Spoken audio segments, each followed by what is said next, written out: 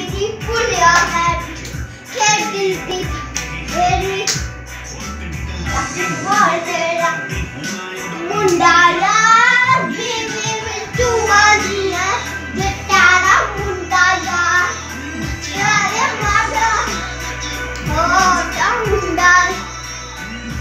Baby with